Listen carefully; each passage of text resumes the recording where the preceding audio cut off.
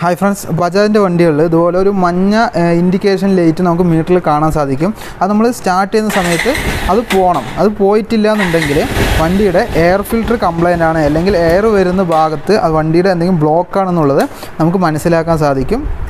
okay friends